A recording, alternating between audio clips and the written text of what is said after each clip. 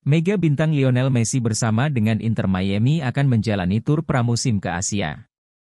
Namun sayangnya untuk penggemar Lionel Messi di Indonesia diharap jangan kecewa.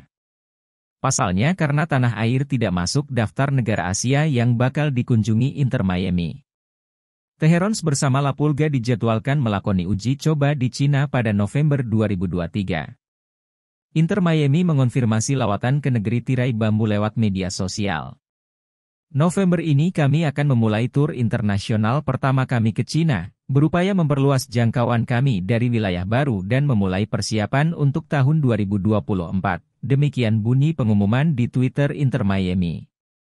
Dua klub telah dipersiapkan untuk menjadi lawan tanding Messi dan kawan-kawan selama mampir ke Cina. Setelah menjajal kekuatan Qingdao Hainyu FC pada 5 November, Inter Miami bakal jumpa Cheng Durong Cheng lima hari kemudian. Inter Miami ingin mulai memperlebar pasar ke benua Asia dan Cina dinilai sebagai titik awal yang pas. Kami sangat bersemangat untuk terus memperluas jangkauan global klub kami, membawa tim bermain di hadapan para penggemar luar biasa di seluruh dunia, kata Chief Business Officer Inter Miami, Sevi Asensi.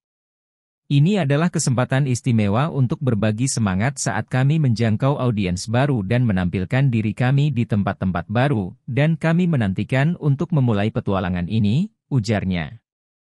Inter Miami bisa memulai pramusim lebih cepat setelah gagal lolos ke playoff Major League Soccer, MLS, 2023.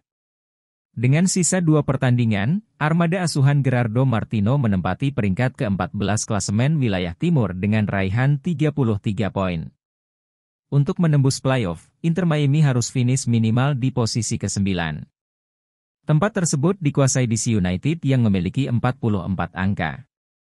Messi nampaknya sudah tak asing dengan Cina.